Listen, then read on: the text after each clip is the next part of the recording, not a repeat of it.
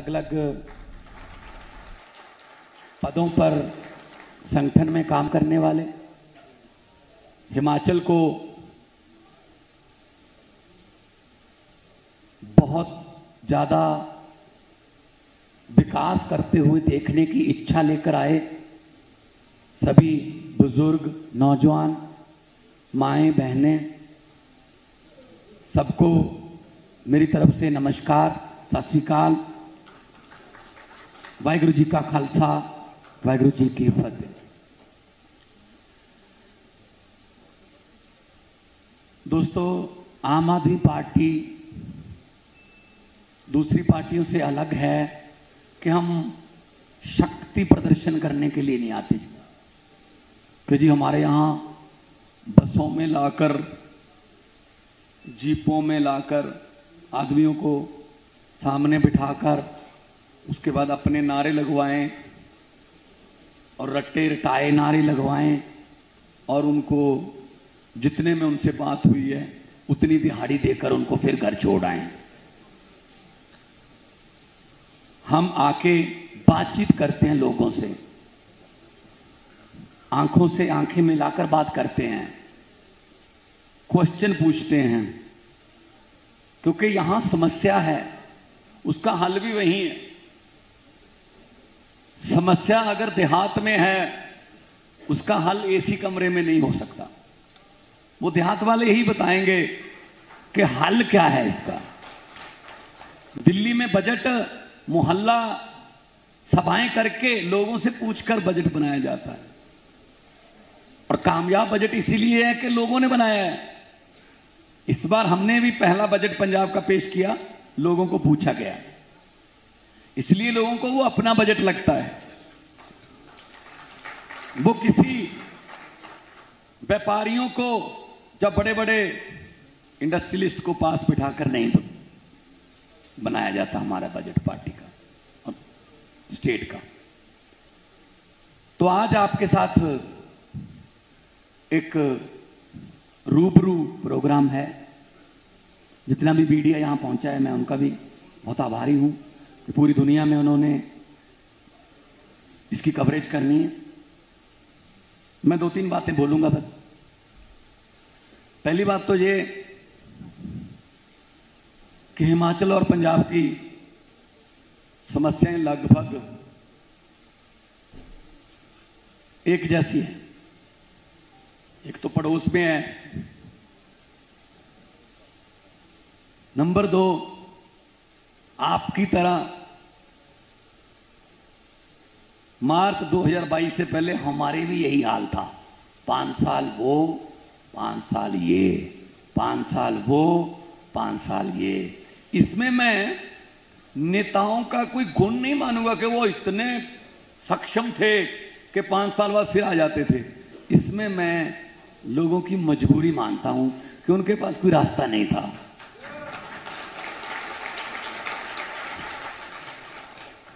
पाँच साल कांग्रेस को जिताकर उनके भ्रष्टाचार से, उनकी मनमानियों से दुखी आकर पाँच साल बीजेपी को देते थे।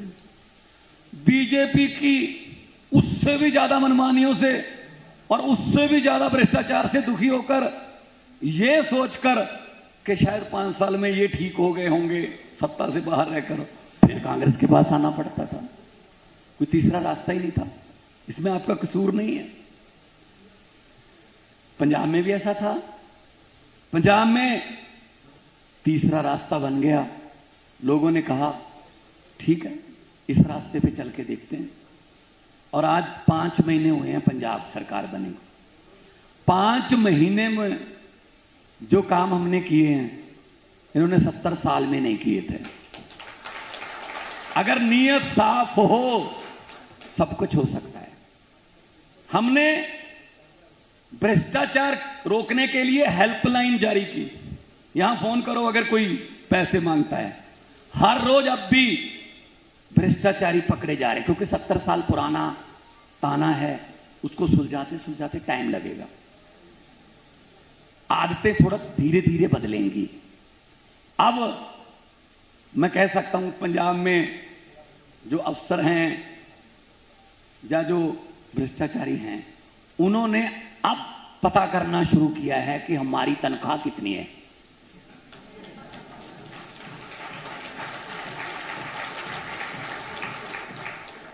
क्योंकि इससे पहले तनख्वाह पे तो चलता नहीं था काम। वो तो बोनस में आती थी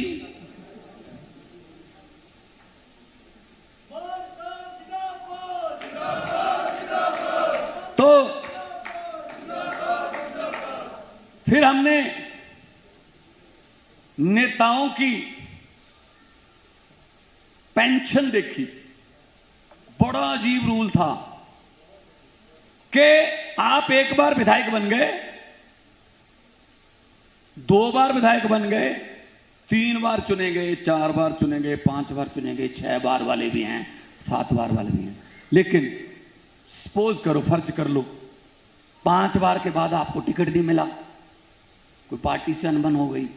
या फिर आप हार गए तो आपको पाँच बार की अलग अलग पेंशन मिलेगी। पैंसठ पैंसठ हज़ार।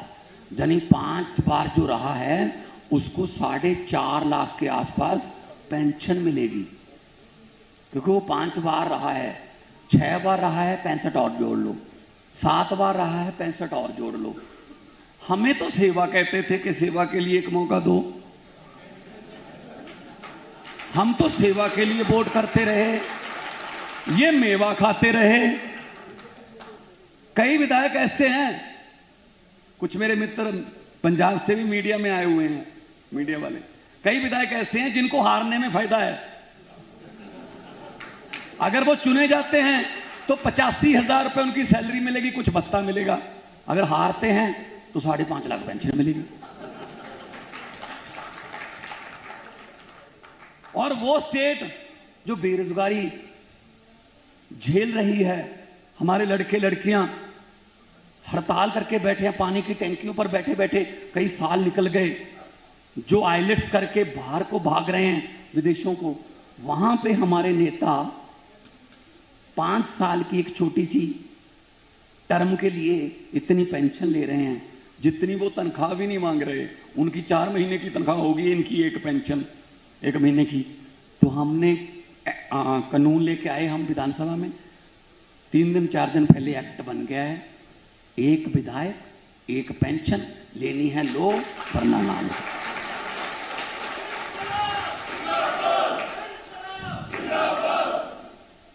तो उसके बाद हमने बिजली के बारे में सोचना शुरू किया। गारंटी दी थी हमने। अरविंद केजरीवाल जी आए थे।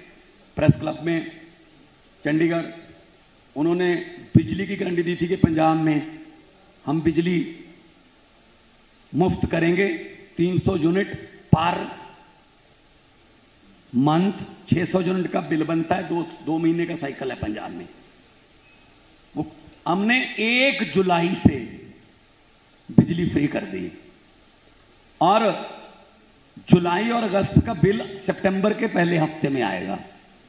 आपको सुनकर हैरानी होगी, आपको सुनकर खुशी भी होगी कि सितंबर के पहले महीने मैंने बिजली बोर्ड से ये पूछा मुझे सारा डाटा दो, डाटा मेरे पास है। सितंबर के पहले महीने जो जुलाई और अगस्त का बिल आएगा, जिसमें ये नहीं है कि एस सी बी सी या बीपीएल उसमें जो 600 यूनिट से कम इस्तेमाल करता है, जनरल घर भी आता है। चौहत्तर लाख मीटर है हमारे पंजाब में। इक्यावन लाख घरों को ज़ीरो बिल आएगा जी।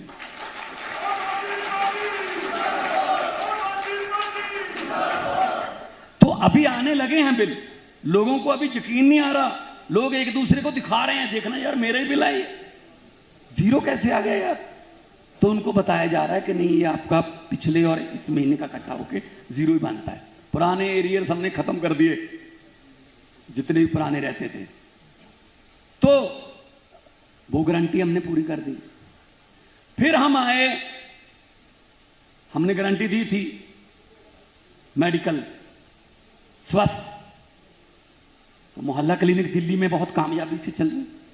मोहल्ला क्लिनिक को देखने के लिए विदेशों से भी लोग आ रहे थे कि मोहल्ला क्लिनिक दिखाइए। तो हमने दिल्ली का मॉडल मोहल्ला क्लिनिक का। पंजाब में लागू किया एक एमबीबीएस डॉक्टर। पूरा बहुत ही अच्छा बना हुआ क्लिनिक। एक फार्मासिस्ट, एक नर्स, एक रिसेप्शनिस्ट। आप जाएँगे, टोकन मिल जाएगा, ग्यारह नंबर मिल गया, बारह मिल गया। डिजिटली चल रहा है, अभी आठ नंबर की बारी चल रही है। तीन के बाद आपकी बारी आ जाएगी, आप डॉक्टर के पास जाओगे। डॉक्टर आपको दवाई लिखेगा साथ के कमरे से आप दवाई ले लोगे बिल्कुल फ्री और अगर कोई टेस्ट करना है डॉक्टर टेस्ट लिखेगा ब्लड का टेस्ट अठानवे ninety eight type of test जो हैं, वो उसी मतलब लेबॉर्ट्री में आपका ब्लड ले लिया जाएगा, वहाँ पे मोहल्ला क्लिनिक में। और लेबॉर्ट्री से अगले दिन रिपोर्ट आ जाएगी, आपको बुला लिया जाएगा कि आपको ये दवाई चेंज करनी है, आपके ब्लड के मुताबिक ये इलाज होगा। हमने पचहत्तरवें आज़ादी दिवस पर परसों पचहत्तर मोहल्ला क्लिनिक आम आदमी क्लिनिक जो है वो देश के नाम हैं पच्चीस उसके बाद तैयार हो गया अगले दिन। आज सौ हैं। आज सौ हैं। जाइए टीवी वालों को बोल दिया हमें मत लेके जाइए। तुम खुद कम कैमरा लेके जाओ और चेक करो क्या हो रहा है वहाँ पे। बताओ कि कै, कैसे काम हो रहा है। डॉक्टर्स एमबीबीएस हैं स्पेशलिस्ट हैं। रिटायर्ड एसएमओ भी आ गए। रिटायर्ड सीएमओ भी आ गए। कि जी, हम भी काम करना चाहते हैं। आइए वेलकम और गरीब लोगों को फ्री में इलाज मिलने लग गया। फिर हमने चेक किया कि कितनी ज़मीन पंचायतों की और फॉरेस्ट की। रसूखदार लोगों ने, नेताओं ने नजायज कब्जे में रखी हुई है। जब हमारे पास लिस्ट आई, आप हैरान बाद में होगे, मैं हैरान पहले हुआ। पचास हज़ार एकड़। तो हमने कोर्ट से कागज़ लिए, अब तक हम पचानवे सौ एकड़ उनके कब्जे से छुड़वा चुके हैं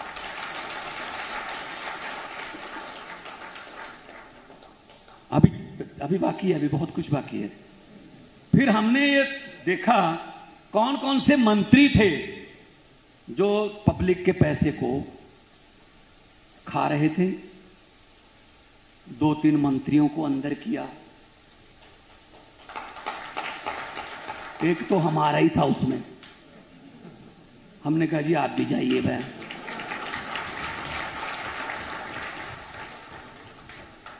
तो आज हालात ये हैं, मैंने अभी कल रिपोर्ट मांगी है डिप्टी सिंह साहब, कि पुरानी कैबिनेट में से कितने विदेशों में जा चुके हैं। इस बात से डरते हुए कि हमारी बारी आएगी। और मैंने कहा, कोई बात नहीं दस पंद्रह दिन बीस दिन महीना विदेश में हुआ हो बारी तो आएगी। ज़ीरो टॉलरेंस है आम आदमी पार्टी की करप्शन के लिए।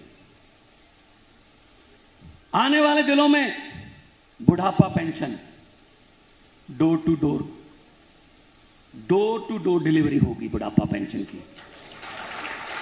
अगर हमने बुज़ुर्गों को लाइन में लगाकर, बैंक की लाइन में लगाकर उनका एक दिन खराब कर दिया, लाइन में खड़े खड़े किसी को गर्मी लग जाती है, कोई गिर जाता है बेहोश होके, फिर क्या हम बुढ़ापा पेंशन दे रहे हैं उनको? फिर तो बुढ़ापा टेंशन दे रहे हैं। पेंशन देनी है तो उनके घर पे जाकर और बायोमीट्रिक वो निशान लेंगे। आधार कार्ड उसमें एंट्री होगी। उनके घर पे अगर वो चार पाई पे बीमार पड़ा है, उसको पैसे मिलेंगे। और कहा जाएगा, जी, आपकी ये पेंशन घर पहुँच चुकी है। इससे काफ़ी एक सोशल प्रॉब्लम भी है। आपके यहाँ भी हो, शायद हो। सभी लोग एक जैसे नहीं होते हैं अच्छे लोग बहुत हैं। पर एक प्रॉब्लम ये है कि बेटा जो है वो माँ बाप से, बूढ़े माँ बाप से वो अंगूठा लगवा लेता है पेंशन निकाल लेता है लेकिन उनको नहीं देता। अब जब उन, उनके सामने उन्हीं को मिलेगी वो भले ही अपने हाथ से इस हाथ से पकड़कर इस हाथ से अपने बेटे को दे देंगे लेकिन सरकार का फ़र्ज़ एक बार उसके पास पहुँचाए। हम वहाँ पहुँचाए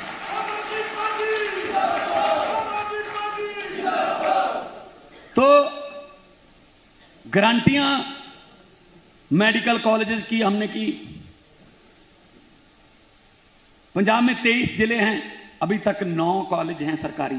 सोलह और बनाएँगे। मतलब पच्चीस कॉलेज हो जाएँगे। पच्चीस मेडिकल कॉलेज तो हिमाचल वालों को भी फ़ायदा होगा। और अभी पीजीआई पे इतना बर्डन है। हम जब अच्छे हॉस्पिटल बनाएँगे यहाँ पीजीआई आना चाहिए शिमला में। तो मतलब इत, इतनी देर जाते जाते जो समय बचता है वो ज़िंदगी के लिए वरदान हो सकता है। मैं हैरान हूँ कि सिर्फ़ सत्ताईस, अट्ठाईस साल पहले आज़ाद हुआ कंट्री यूक्रेन, ये तो लड़ाई के बाद पता चला ना हमें। यूक्रेन में कितने बच्चे हमारे मेडिकल की पढ़ाई कर रहे हैं अभी? सत्ताईस, अट्ठाईस साल पहले हुआ आज़ाद, हम पचहत्तर। हम उनके लिए कॉलेज नहीं बना सके। और वो जो है ना वो कोई नलायक विद्यार्थी नहीं है।